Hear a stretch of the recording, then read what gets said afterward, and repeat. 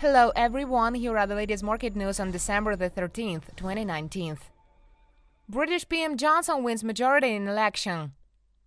British Prime Minister Boris Johnson won decisive and powerful majority in Thursday's general election that rewards the political map of Britain and gives the mandate he needs to pull the UK out of the European Union next month. The outcome was a stark repudiation of the main opposition Labour Party under Jeremy Corbyn and his radical program of state intervention, nationalisation of key industries, and tax rises for the better off. Corbyn announced his intention to resign after a catastrophic run of losses to the Tories in Brexit supporting districts in northern England and Wales. These areas were considered traditional Labour strongholds, and Johnson's success here was the breakthrough that secured his victory.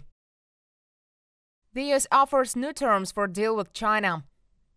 Washington offered to cut existing tariffs on Chinese goods by as much as 50% and suspend the new tariffs scheduled for Sunday in order to secure a phase one deal first promised in October. In return, Beijing would agree to buy $50 billion in U.S. agricultural goods in 2020, double what it bought in 2017. Before the trade conflict started, two U.S.-based sources briefed on the talks said. U.S. President Donald Trump and his top advisors agreed on the terms for a proposal, possibly a final offer, and were now waiting for Beijing to sign off in writing. However, Chinese Foreign Ministry spokeswoman Hua Chunying did not comment on whether the two sides had reached an agreement for the terms of any deal with the United States.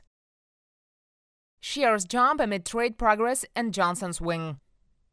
World's indexes traded on record highs as the progress in the China-US trade deal and British PM Johnson's win the general election delivered the twin boost to the global markets. Europe's pan-regional benchmark Stoxx 600 looked set to open almost 1.5% higher, while London's FTSE futures added only 0.2%, perhaps because a conservative win had already been priced in. MSCI's broadest index of Asia-Pacific shares outside Japan rose 1.5% to its highest since late April, while Japan's Nikkei surged 2.5% to a 14-month top, and Shanghai blue chips jumped 2%. On Thursday, Wall Street had celebrated the trade news with record highs. The Dow ended session with a 0.79% gain, while the S&P 500 climbed 0.86% and the Nasdaq soared 0.73%. Delivery Hero by South Korea's Woowa for $4 billion.